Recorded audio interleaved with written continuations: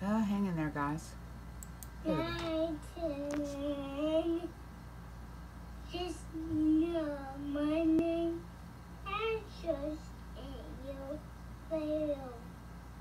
And then forever for you. Me. That was great, Bella. Stop. Chapter 9,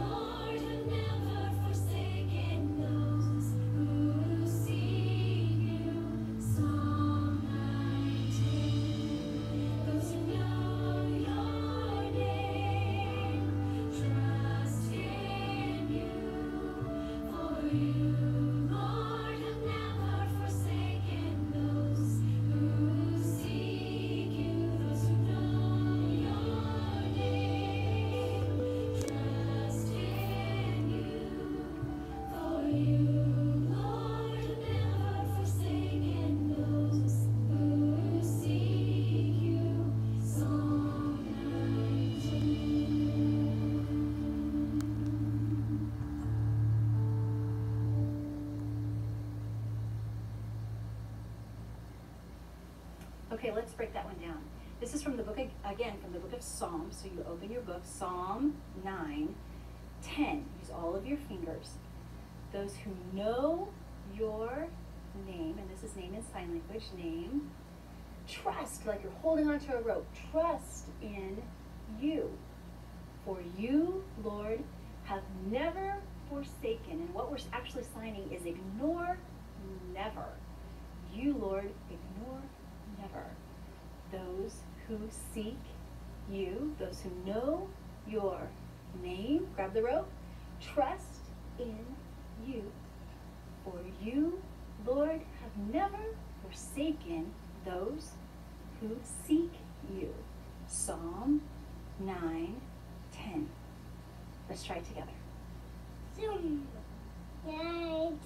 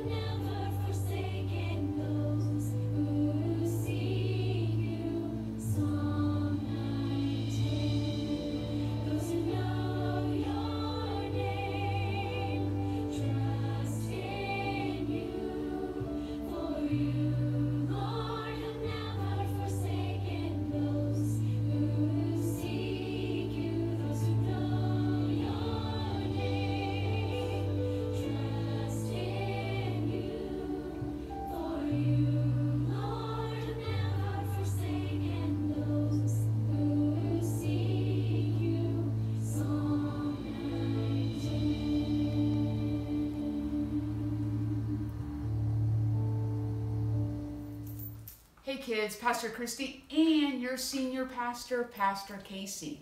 So we're here today because we're going to have a little bit of fun. Okay, Pastor? All right. So I have these words and I have difficulty with words. I just do. Speech I don't know. Eh, no, not that. But someone that we're learning about does. Because tell them who we're learning about, kids. That's right, Moses. So we're learning the book of Exodus in quizzing this year, Pastor. So I just want to show you something. All right. So I'm going to hold this up so that you can see it. All right. Now, I think I can get these, Pastor, but Frutile? Frutal. Frutal. Futile. Futile. Okay, do you know what it means? Yes. Okay, what does it mean? Means pointless. Yeah. Okay, now this one I know. Because this one, that's a good Bible word. That's a God word. Omniscient. No, it's omniscient. Oh, omniscient. Right? Omniscient. Omniscient. Omniscient. Okay, so I didn't know it. You guys know this because when I get to Bible names, you know. All right, so Pastor, I, I, okay, I'm gonna try it, kids. Here we go. Anthophilous. Did I say it right? No. Okay, so how do you say it? Anthophilous. Oh, Anthophilous. Okay. Do you know what it means? Uh, no. Okay, well, it means feeding upon or living among flowers. That's me. okay, so here's the other one. Okay. Parietal, uh, parietal, parietal, parietal, par, I don't know. Parietal. Parietal. Do you know what it means? No.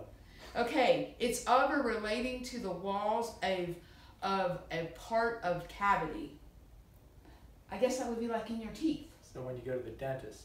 Yeah, maybe the dentist knows this word. Our last one. All right, Pastor. Conurbation. Con conurbation. That's right. You had it the first time. Conurbation. Conurbation. Conurbation. Okay. It is an A group of communities. Oh yeah, that's a network of urban communities. He's so smart. Now, do So you say reason- caramel or do you say? That's another one. Deanne's in the background, and caramel or caramel. Yeah. I say Pota- caramel. Potato, potato. I say caramel. What did you Tomato. say? Caramel. See, Caramel. that's Jim and I both. Tomato, tomato. That's a good one. Yeah. Anyway, kids, the reason that I'm doing this is because, see, I have a learning disability. I have a reading problem, reading comprehension, reading pronunciation, or is it enunciation? Pronunciation. pronunciation. Anyway, the reason I'm sharing this with you is even though I have this problem, often what I do is I use my phone to look the word up and then I'm able to press and it tells me how it's pronounced. I use the things around me to help me. And I have that disability, but Pastor doesn't have that particular disability. But that doesn't mean that God doesn't use us. See, I'm a pastor, and Pastor Casey is a pastor. I have that disability, but it doesn't stop me from doing what God wants me to do. Actually, Pastor Casey and I both have a disability. We're both showing you that disability right now. And if you can tell me what that disability is on Sunday, I'll give you a prize. However, I think he just cheated, didn't he? I guess you're all going to get a prize. Anyway, we have a disability, but it doesn't stop us from doing what God wants us to do. Today we're going to learn about Moses, and Moses had a disability. What was it, Pastor? He stuttered. He stuttered. So we're going to learn about that today, but nonetheless, disabilities don't have to stop you from doing what God wants you to do. So let's learn about that, and I'll see you in just one minute in front of the computer. Hey kids, I'm in my office today, and so I've got the computer set up for you, and I'm going to do the slides here and try to get it as close as I can so that you can see um, the computer. So uh, let's do a little bit of a review from dig site number three. Um, scripture last week was Exodus 3:14. It said, "God said to Moses, I am who I am. This is what you are to say to the Israelites. I am has sent me to you." And remember, he spoke to him in the burning bush, and the amazing thing was the bush didn't burn. Just there. And then he said, Take off your sandals. You are standing on holy ground. And that was the calling that Moses had when God asked him to uh, be the leader in setting God's people free. And remember, I am still applies today. I am the bread, the light, the door, the good shepherd. I am before Abraham was. I am the resurrection and life, the way, the truth, and the life. I am the vine. And God is everything that we need Him to be. So today we start with dig site number four, and the memory verse is in Psalms 9, um, and it is starts in verse 10. Chapter 9 10. Those who know your name trust in you, for you, Lord, have never forsaken those who seek you. That's a great scripture, isn't it? So let me ask you I saw this. This is not our advertisement, of course, because it is Northwood Christian Church. And apparently they were doing some type of heroes uh, on part, uh, part three heroes, and it was God Can Use You. And so they did a sermon series, but I liked this and I liked it a lot because I punched in in Google Images, God can use you, and this came up. And I thought, how appropriate because when we allow God to use us to share his word or to do something that he needs us to do, we truly are heroes and probably looked upon as heroes in the eyes of God. So it's always great to allow God to use us, isn't it? So, with that being said, we learn today that God chooses to use Moses. And our scriptures are in Exodus 4 1 through 21, and then it goes to 27 through 31. And I want to read some of the scripture to you this week. Normally, I do some little uh, highlights that they have in our teacher's book, but I kind of wanted to read from the scripture today. So, chapter 4 begins and says Moses answered, What if they do not believe me or listen to me? and say, The Lord did not appear to you. So we find that God is calling Moses. That was our dig site last week. And now Moses starts to doubt himself. And have you ever felt that way? I know I have tons of times. Then the Lord said to him, What is that in your hand? A staff, he replied. The Lord said, Throw it on the ground. Moses threw it on the ground and it became a snake and he ran from it. I don't know about you guys, but if I had a stick in my hand and I threw it on the ground and it turned into a snake, I would be just like Moses. I'm telling you what, I would be just like Moses. I would run. Then the Lord said to him, Reach out your hand and take it by the tail. Okay, again, I wonder if Pastor Christy could take that snake by the tail. I just don't have enough bravery. It would have to be God to help me to do that. So Moses reached out and took hold of the snake, and it turned back into a staff in his hand. Now, let me tell you, that is a miracle. If I were ever able to witness that, that would be incredible. This, said the Lord, is so that they may believe that the Lord, the God of their fathers, the God of Abraham, the God of Isaac, and the God of Jacob, has appeared to you.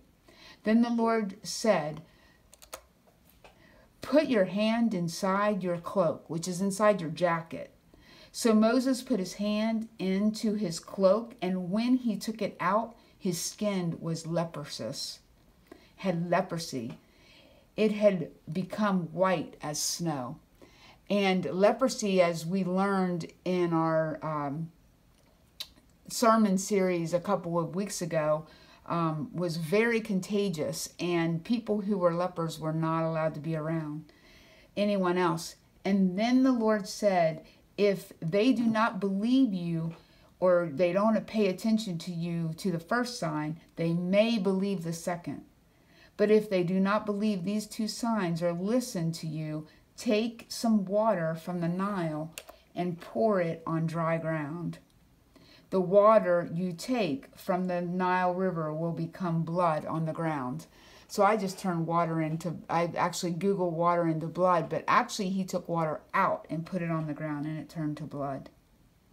So all of these things, he was able to put his hand into his jacket and pull it out and it had leprosy. He was able to put his hand back in and it was clean and clear.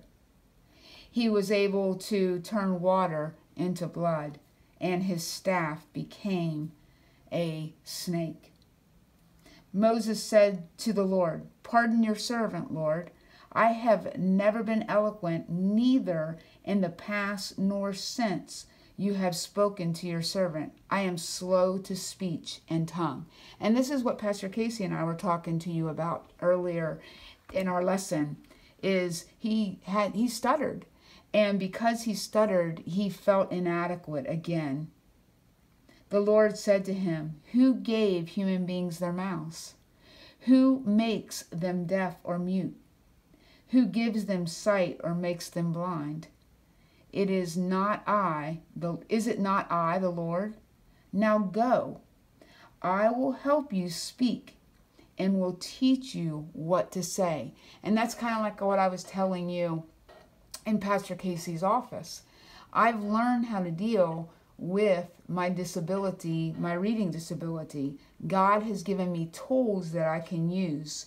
And so God did the same thing for Moses. He gave him the ability to speak. Then the Lord's anger burned against Moses, and he said, What about your brother Aaron, the Levite? I know he can speak well. He is already on his way to meet you, and he will be glad to see you. You shall speak to him and put words in his mouth, and I will help both of you speak and will teach you what to do. He will speak to you, he will speak to the people for you, and it will be as if he were your mouth, as if you were God to him. But take this staff in your hand so you can perform signs with it. Our next picture is a map because this is God saying to him, Moses, go. I have everything that you need. I will provide everything that you need. And so, no matter how inadequate you feel, I believe and know that I can use you. Then Moses went back to Jethro, his father in law, and said to him, Let me return to my own people in Egypt to see if any of them are still alive. Jethro said, Go, and I wish you well. Now the Lord said to Moses in Midian, Go back to Egypt, for all those who want to kill you are dead. So Moses took his wife and sons, put them on a donkey, and started back to Egypt. And he took the staff of God in his hand. The Lord said to Aaron, Go into the wilderness and meet Moses. So he met Moses at the mountain of God and kissed him. Then Moses told Aaron everything the Lord had said, sent him to say, and also all the signs he had commanded him to perform. Moses and Aaron brought together all the elders of the Israelites, and Aaron told them everything the Lord said to Moses. He also performed the signs before the people, and they believed. And when they heard that the Lord was concerned about them and had seen their misery, they bowed down and worshiped. kids, we're getting ready to make it real. We get to actually see as God delivers his people out of slavery and into a new life. So, um, we have our map, and we, like Moses, are ready to go and see what God has. Don't allow your disabilities or things that you feel inadequate about stop you from allowing God to use you. Allow God to use you to share His word. Allow God to use you to be a friend to someone who needs a friend. Allow God to use you to love His people. All right, I hope you do well this week, and I hope that God blesses you as you study His word. Blessings.